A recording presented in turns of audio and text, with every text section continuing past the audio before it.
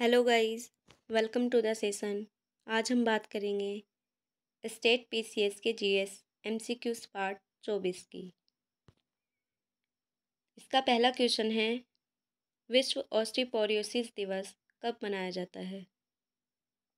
Option है बीस अक्टूबर, इक्कीस अक्टूबर, तेईस अक्टूबर, बाईस अक्टूबर। इसका आंसर है बीस अक्टूबर। प्रतिवर्ष बीस अक्टूबर को विश्व ऑस्ट्रियोरोपिसिस दिवस के रूप में मनाया जाता है। यह दिवस ऑस्ट्रियोपोरोसिस की रोकथाम, निदान और उपचार के लिए वैश्विक जागरूकता के प्रसार के प्रति समर्पित है। उत्तर प्रदेश राज्य जैव ऊर्जा नीति 2022 के संदर्भ में निम्नलिखित कथनों में से कौन सा सही नहीं है? सत्ताईस सितंबर 2022 को उत्तर प्रदेश मंत्रिमंडल ने इस नीति को स्वीकृति प्रदान की।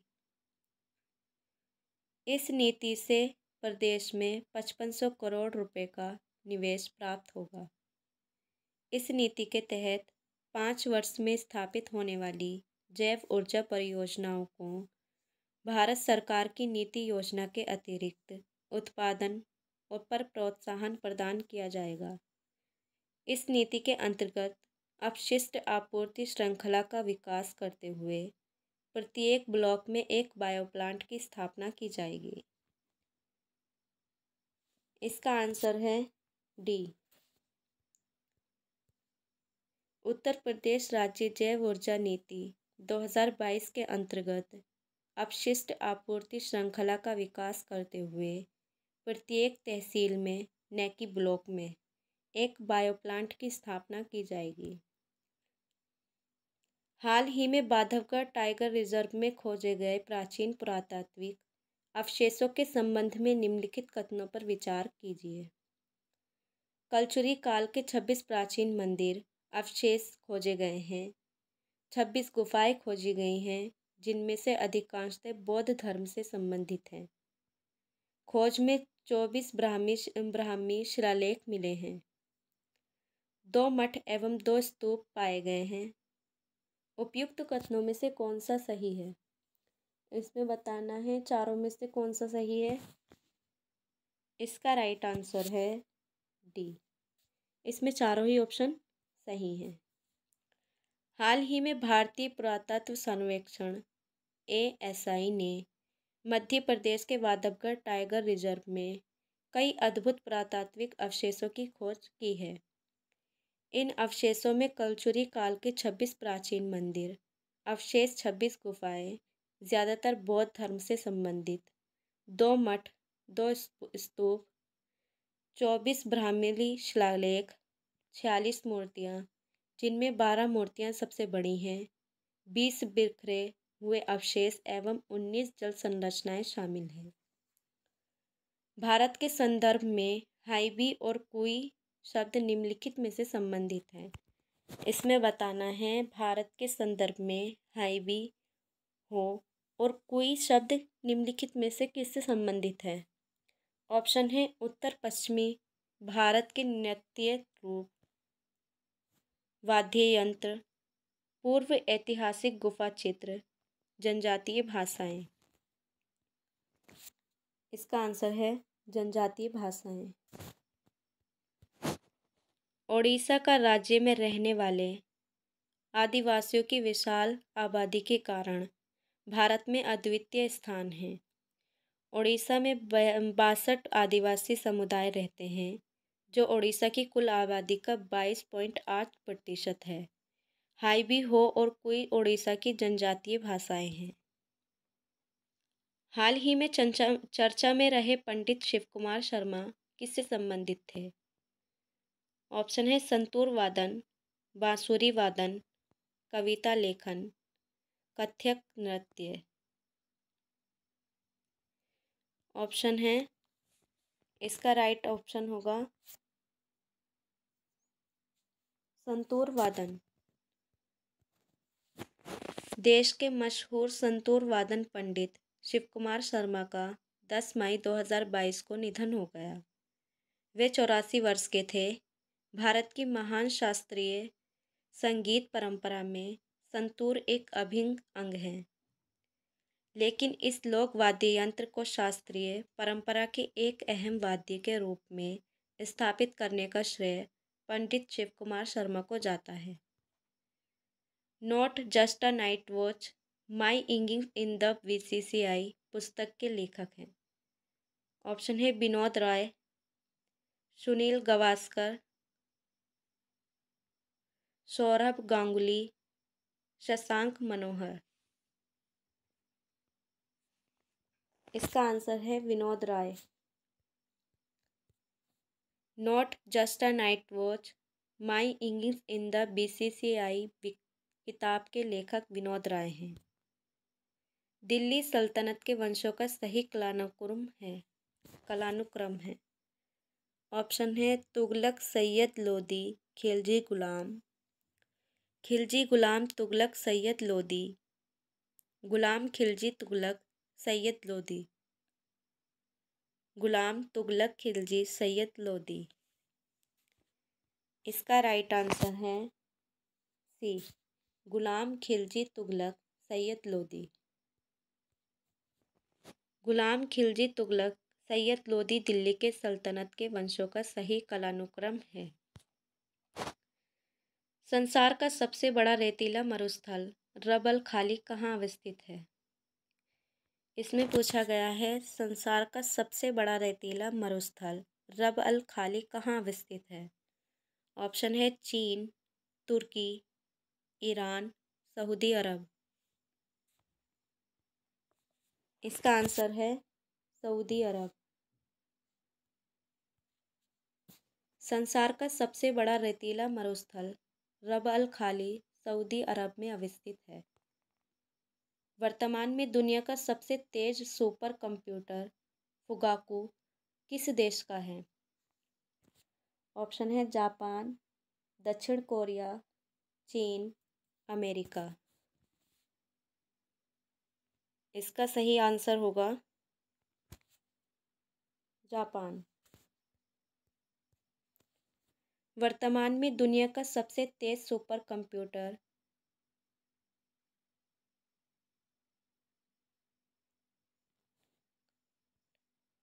sorry computer Fugaku Japan का है। सुभाष चंद्र बोस के राजनीतिक गुरु कौन थे? इसमें बताना है, सुभाष चंद्र बोस के राजनीतिक गुरु कौन थे? ऑप्शन है, महात्मा गांधी, चिरंजन दास, चितरंजन दास, गोपाल कृष्ण गोखले, बाल गंगाधर तिलक। इसका आंसर है, चितरंजन दास। सुभाष चंद्र बोस के राजनीतिक गुरु चितरंजन दास थे जबकि स्वामी विवेकानंद आध्यात्मिक गुरु थे। लता मंगेशकर जी को भारत रत्न से किस वर्ष सम्मानित किया गया था? ऑप्शन है 2001, 2009, 2011, 2021 इसका राइट आंसर है 2001 वर्ष 2001 में लता मंगेशकर जी को भारत के सर्वोच्च नागरिक सम्मान भारत रत्न से सम्मानित किया गया था।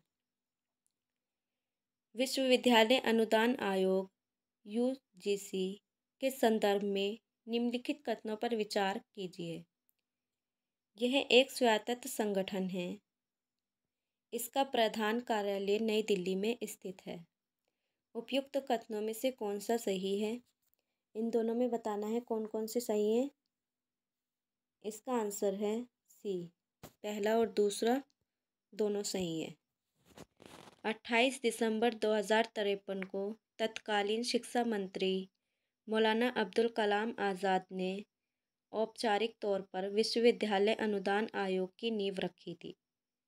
विश्वविद्यालय अनुदान आयोग विश्वविद्यालय शिक्षा के मापदंडों के संवेद संविनय निर्धारण और अनुरक्षण हेतु उन्नीस सौ छप्पन में संसद के अधिनियम द्वारा स्थापित एक स्वायत्त संगठन है। इसका प्रधान कार्यालय नई दिल्ली में स्थित है। प्रधानमंत्री फ़सल बीमा योजना के संबंध में निम्नलिखित कथनों पर विचार कीजिए। इसका शुभारंभ वर्ष 2016 में किया गया। इसने राष्ट्रीय कृषि बीमा योजना, एन ए आई एस और संशोधित राष्ट्रीय कृषि बीमा योजना, M N A I S, को प्रोत्साह, प्रो, प्रतिस्थापित किया है। इसका आंसर है सी, पहला और दूसरा, इसमें भी दोनों सही हैं।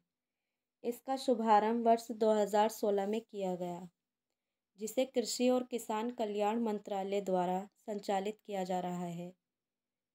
इसने राष्ट्रीय कृषि बीमा योजना, एन ए आई एस, और संशोधित राष्ट्रीय कृषि बीमा योजना, M N A I S को प्रतिस्थापित किया है।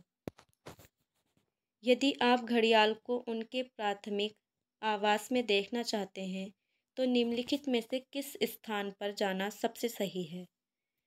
ऑप्शन है भितरकनिका मैग्न्यू मैग्नोग चंबल नदी पुलिकट झील दिपोर व्हील.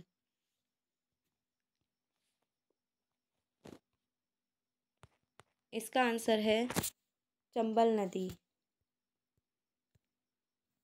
घड़ियाल, जिसे कभी कभी गोवी केविलियर, गेवियल भी कहा जाता है, एक प्रकार का एशियाई मगरमच्छ है, जो लंबे समय पतले, जो लंबे पतले थूथन के कारण अलग आकृति का होता है।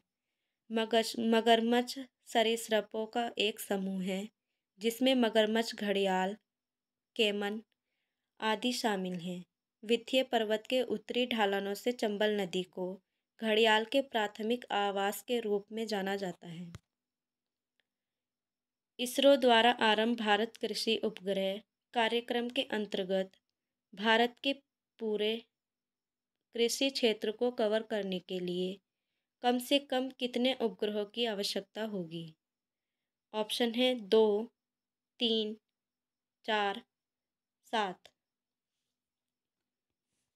इसका आंसर है दो।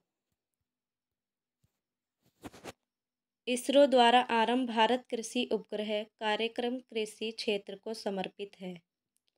यह कृषि संबंधी गतिविधियों कीटनाशकों, सिंचाई, फ़सल आंकड़ों, सूखे के आंकड़ों आदि का विस्तार करेगा। देश के पूरे पूरे कृषि क्षेत्र को कवर करने के लिए न्यूनतम दो उपग्रहों की आवश्यकता होगी। विश्व वन्यजीव कोष द्वारा प्रकाशित लिविंग प्लेनेट रिपोर्ट के अनुसार पिछले पचास वर्षों में मॉनिटर की गई वन्यजीव आबादी में कितने प्रतिशत की गिरावट आई है? ऑप्शन है उनसठ, पैंसठ, उनहत्तर, बहत्तर। इसका आंसर है उनहत्तर। विश्व वन्यजीव कोष डब्ल्यू डब्ल्यू एफ़ द्वारा प्रकाशित लिविंग प्लेनेट रिपोर्ट 2022 के अनुसार वर्ष 1970 से 2018 के बीच पिछले 50 वर्षों में मॉनिटर की गई वन्यजीव आबादी, स्तनधारियों, उभरचर, मछली, सरीसृप सहित में उनहत्तर प्रतिशत की गिरावट आई है।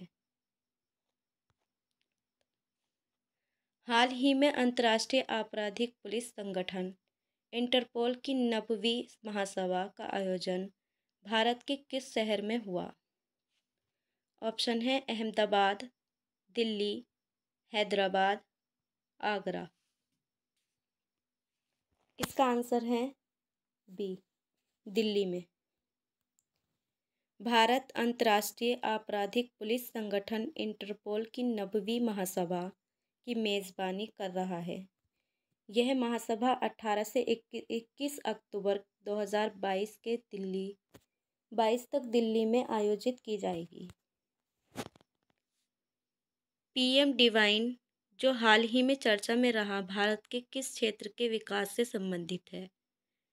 ऑप्शन है पूर्वोत्तर क्षेत्र, तटीय क्षेत्र, मरुस्थलीय क्षेत्र, बाढ़ग्रस्त क्षेत्र। इसका राइट आंसर है पूर्वोत्तर क्षेत्र। हाल ही में केंद्रीय मंत्रिमंडल ने एक नई योजना पूर्वोत्तर क्षेत्र हेतु प्रधानमंत्री विकास पहल, पीएम डिवाइन को मंजूरी दी। पूर्वोत्तर क्षेत्र एनईआर में विकास अंतराल को दूर करने के लिए केंद्रीय बजट 2022-23 में पीएम डिवाइन की घोषणा की गई थी। हाल ही में किसे भारत के पचासवें मुख्य न्यायाधीश सीजेआई के रूप में नियुक्त किया गया है? ऑप्शन है न्यायमूर्ति एस अब्दुल नज़ीर न्यायमूर्ति अजय रस्तोगी, न्यायमूर्ति दिनेश माहेश्वरी, न्यायमूर्ति धन धनजय यशवंतन चंद्रचूड़। इसका आंसर है डी, न्यायमूर्ति धनजय यशवंतन चंद्रचूड़ चंद्रचूड़। न्यायमूर्ति धनजय यशवंतन चंद्रचूड़ को भारत के पचासवें मुख्य न्यायाधीश सीजेआई के रूप में नियुक्त किया गया है, जो उनचासवें सी सीजेआई उदय उमेश ललित को स्थान ग्रहण करेंगे। मौलिक अधिकारों के संरक्षण के लिए रिट याचिका किसमें दायर की जा सकती है? इम्पोर्टेंट क्वेश्चन है, बार बार पूछा जाता है। मौलिक अधिकारों के संरक्षण के लिए रिट याचिका किसमें दायर की जा सकती है? इसमें बताना है कौन से न्यायालयों में दायर की जा सकती है। ऑप्शन है उच्चतम न्यायालय, उच्च न्यायालय, जिला न्यायालय, सत्र न्यायालय। इसमें बताना है किसके द्वारा की जाती है। इसका आंसर है ए, पहला और दूसरा। उच्चतम न्यायालय और उच्च न्यायालय के द्वारा याचिका दायर की जाती है। भारतीय संविधान द्वारा सर्वोच्च न्यायालय और उच्च न्यायालय को मौलिक अधिकारों की रक्षा करने के लिए लेख, निर्देश तथा आदेश जारी करने का अधिकार है। सर्वोच्च न्यायालय अनुच्छेद बत्तीस के तहत एवं उच्च न्यायालय अनुच्छेद 226 के तहत रिट जारी कर सकते हैं। Thank you so much